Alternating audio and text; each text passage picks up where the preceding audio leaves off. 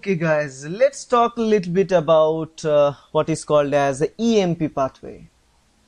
EMP pathway. Now what is EMP pathway? You may wonder.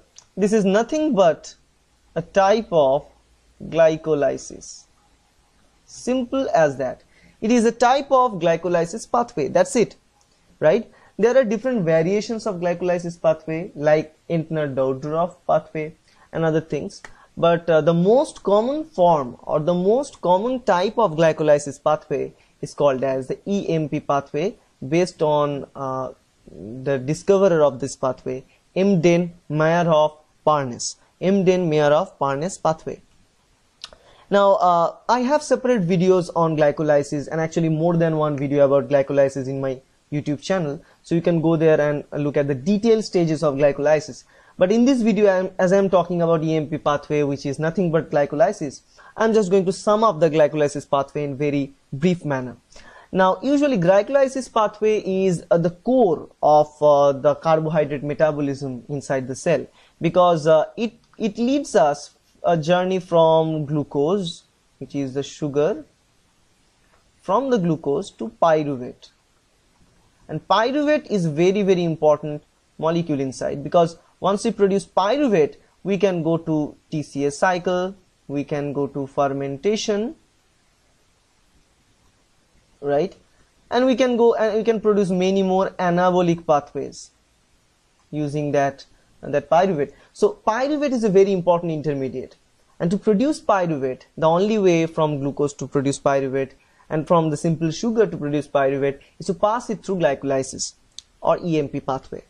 Now this pathway is not important for producing energy because the dedication of this pathway is to focus on producing pyruvate from, from glucose. That means usually after this pathway they produces two pyruvates actually from one glucose molecule. Right? But they produce very little energy here total gain of 2 ATPs are produced at the end of the whole process right? Actually they consume 2 ATP produces 4 ATPs so ultimately the total gain of ATP is 2 right? So let's talk about in very briefly what about this EMP pathway. So it starts with this glucose we all know. It starts with glucose right? So that glucose is converted into glucose 6 phosphate. How we need to add a phosphate, right? So we, we add a phosphate from outside and the, who can be better than ATP as a phosphate donor? ATP is always there to do its job. ATP donates the phosphate to glucose added to the 6, so glucose 6 phosphate is produced. Now from this glucose 6 phosphate simple rearrangement occurs and then they produce what is called, sorry, let's take this one, yeah. They produce fructose 6 phosphate, simple rearrangement they produce 6 fructose 6 phosphate which is also 6 carbon molecule. Nothing important about this stage. From this fructose 6 phosphate they produce fructose 1 6 bisphosphate fructose 1 6 bisphosphate now this fructose 1 6 bisphosphate means two different phosphates are attached. One at the 6 carbon one at the 1 carbon the first carbon. In the earlier stage uh, phosphate group is already there in the sixth carbon in the fructose. So one new phosphate must have been added. Again ATP donates that phosphate and add it to the first carbon of the fructose converting it to fructose 1,6 bisphosphate or diphosphate whatever. So once you produce fructose 1,6 bisphosphate then it is converted into glyceraldehyde 3 phosphate G3P and this is the stage when you know fructose 6 phosphate is 6 carbon and they produces 2 glyceraldehyde 3 phosphate. Each of them 3 carbon. Two, two or 3 carbon molecules ultimately 6 carbon. You know the calculation of carbons one while you're doing all this biochemical pathway is very very important to keep track on what's going on right? So always keep track on the carbon number. It helps you to understand the pathway. So that's that's that's what is produced once the glyceraldehyde 3 phosphate is produced then the latter stages are called the payback phases where they produces energy and all these things because you know up until the production of glyceraldehyde 3 phosphate they require ATP instead of producing anything.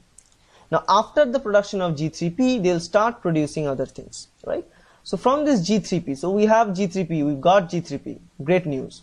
After that, they convert this G3P into 1,3 bisphosphoglycerate, bisphosphoglycerate or 1,3-BPG. These are the short forms and they are pretty commonly known as this.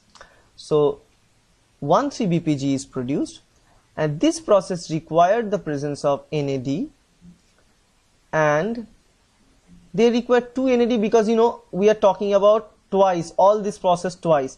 Actually in one particular process of conversion from G3P to 1,3-BPG there requires only one NAD but uh, from this point of view everything we will be talking about will be twice. So everything will be twice there right? So don't forget about this concept.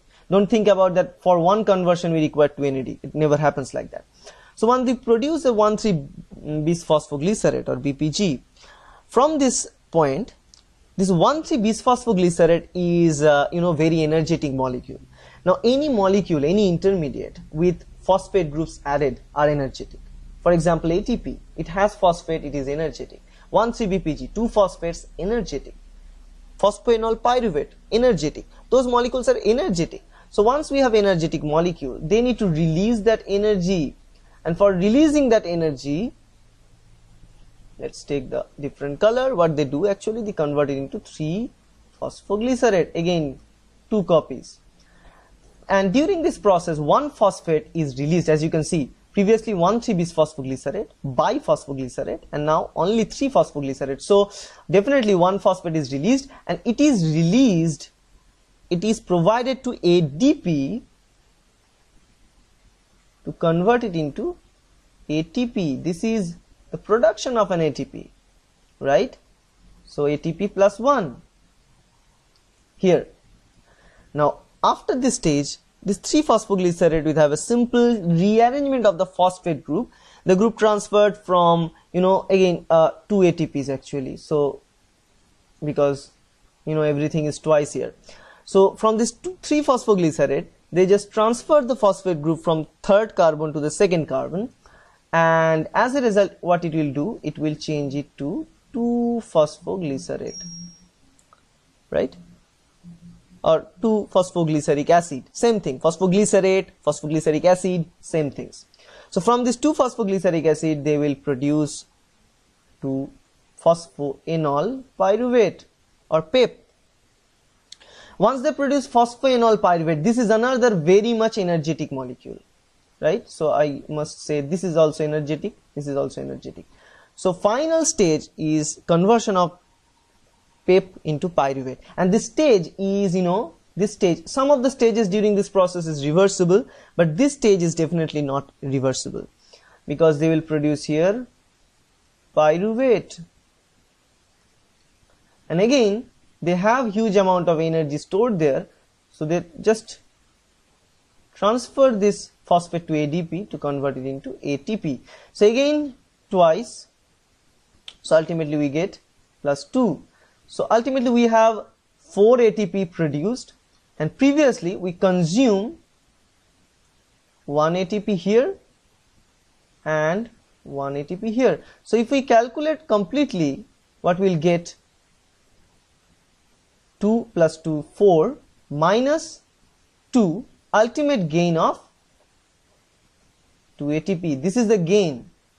This is the gain of 2 ATPs as I have told you before. So this in a simple way is the EMP pathway guys.